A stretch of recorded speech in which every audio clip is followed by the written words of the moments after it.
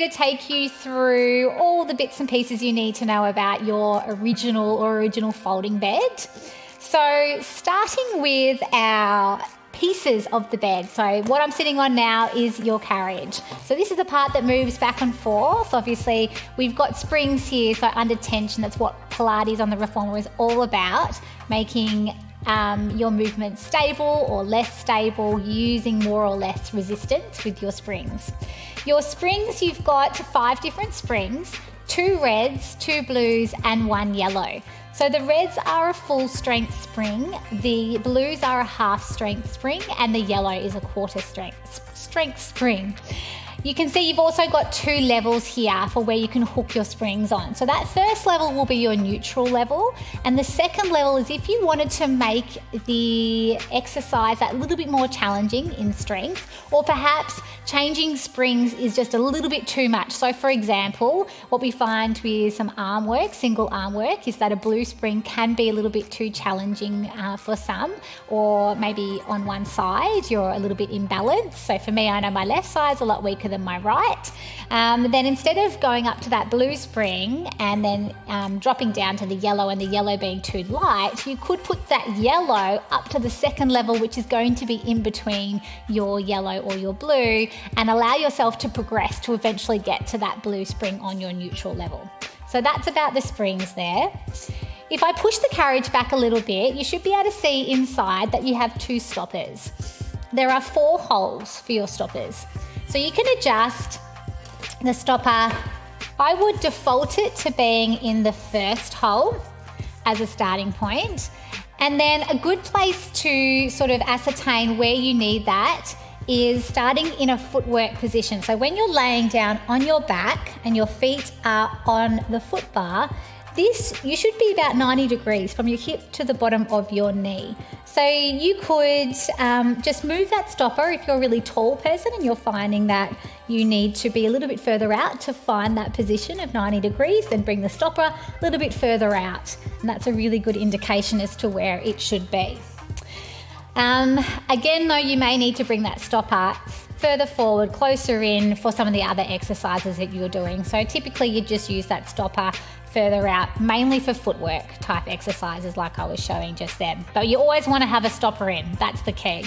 The reason being is that if we had our stoppers out, the carriage doesn't have anywhere to stop against, and you run the risk of the springs actually um, bouncing up and off the hooks. So you need to have a stopper on the whole time.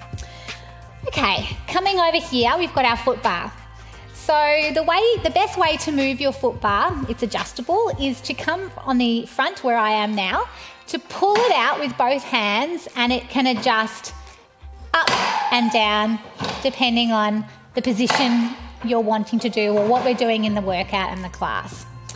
We've got our box here and this is your platform. So just quickly showing you with your box, lifting it up with the handles on both sides. Typically, we might use a box standing um, on the floor next to your reformer or on your reformer. So if we pop it lengthways, that's called long box. If we pop it shortways, up against the shoulder rest, that's called short box. You might sit, we may lay on it on our stomachs, um, sit on the side, sit facing the bar, all sorts of different directions. There's really no front or back to a reformer. You're always going to be facing all sorts of different directions throughout a workout. Popping that box back down. In fact, I'll put it away, ready for when we start to talk about the other elements down here.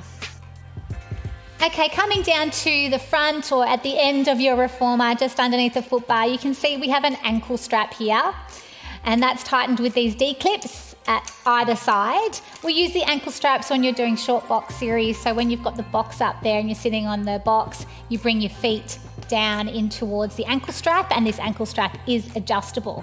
That's another good example of when you would put the stopper out as well. If you're really tall, once again, and you're finding your feet in the ankle strap sitting on the box, your legs are still bent, pop the stoppers further out so the carriage you're sitting further away so you can straighten your legs and lift them up into the ankle strap. You also have this platform here and this is adjustable so it can come out like so. This is when we use the jump board. So I already had this loose, but to get your platform out, you would simply unscrew a few, a few times just to loosen it up, the bolts at the end of your bed here. Lift that platform out and we can put that down away for now. Once you've done that, you'll see that this is where you've got a hole for your jump board. So these two bars. You're going to pull your foot bar down and away, out of the way. Grab your jump board And before I pop the jump board in, just notice that there are a couple of bolts, four bolts in fact, that screw in to keep the jump board nice and firm as well. So there's two on the inside that you can see at the top, and there's actually two bolts on the outside down the bottom. So just make sure they're screwed out so that they're not going to stop the bars from going down. They're holes, then they slot through. Then all you do is tighten those bolts. So the ones on the outside, you'll tighten. And then on the ones on the inside, you'll tighten so that that jump board is nice and firm in there and not going to move when you're jumping. Taking that out, you do the reverse. So you're going to undo those bolts and you can see that just loosened it off nicely. And I'll just pop that platform back in there. and tightening the bolts again so the platform is nice and firm. We do lots of things with our platform. A great reason why we've gone with an upholstery firm um, platform here rather than the timber one. If you want to use your hands or forearms on it for planks, nice and comfortable um, for longevity there. Standing work, if you're, we recommend for safety, you would always stand up on the platform first before you stand on the carriage, which is the moving element. Now, if that feels like you need a little bit more range, then if you've bought a platform extender or you've got one with your bed, you would put your platform extender here in the center and then you could stand on that and press. Now I don't have one here to show you, um, but it looks very similar to the platform. That would go here.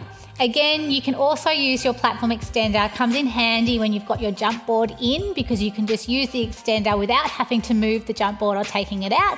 You can pop the extender on, do your standing work, um, whatever you're doing there, planks, etc., with the jump board in there, and it can just flow through a class really nicely. Moving on, you've got shoulder rests here. They've got the lovely mushroom shape to be ergonomical on your shoulders. Your straps here, you've got your long loop or your short loop. So typically we'd use long loop for your feet, short loop for your hands. However, we often talk in class about adjusting um, the tension if it's feeling a little too much, for example, with arm work, um, holding onto the long loop instead of your short loop. A good gauge for a setup with your straps is to have them sitting on your um, the strap holders here and having the ropes reasonably taut but not so tight that it actually pulls the carriage away from the stoppers. So you want the carriage to be sitting just nicely up against the stoppers there and the straps to be reasonably firm on the holders. And I've got my long loops on the holders rather than the short loops. The aim also is you would like always to have your straps, unless you're doing single arm work, in which case it doesn't really matter. But when you get back to double arm, double leg, whatever you're doing where you're using bow straps, you want them to be nice and even. So a couple of things to look out for. Make sure that your D-ring here is in the same position as the other side because that when it, it can sometimes um, turn and twist in the in the rope and that can adjust that can make the uh, levels different. And um, check that you're you know not on one short loop or one long loop on the holder. So always check that first before you adjust it but then super easy to adjust. All you do is pop your finger underneath the rope here to lift it up out of the clips and then you can pull the strap towards you to lengthen it or pull the rope back towards you to shorten it.